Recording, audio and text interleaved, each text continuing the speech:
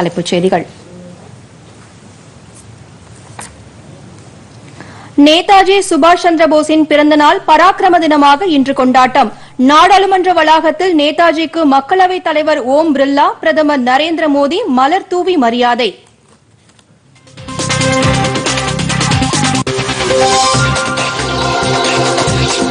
Delhi India கேட்டில் நேதாஜியின் hologram சிலையை இன்று மாலை திறந்து வைக்கிறார் பிரதமர் நரேந்திர மோடி.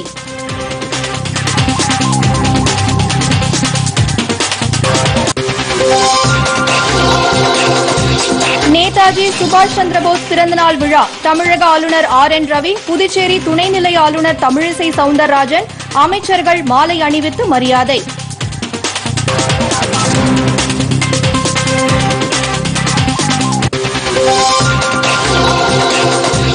நாட்டின் அனைத்து மாவட்டங்களிலும் நூறு சதவீத வளர்ச்சி இலக்கை எட்டும் வகையிலான செயல் திட்டம் வகுக்கப்படும். மாவட்ட ஆட்சியர்களுடனான கலந்துரையாடலின் போது பிரதமர் அறிவிப்பு.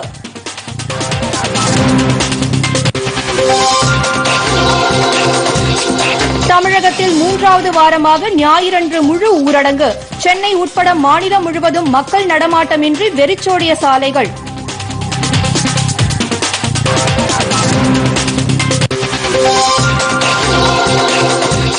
கேப்டவுனில் இன்று இந்தியா தென்னாப்பிரிக்கா இடையே மூன்றாவது மற்றும் கடைசி ஒருநாள் கிரிக்கெட் போட்டி.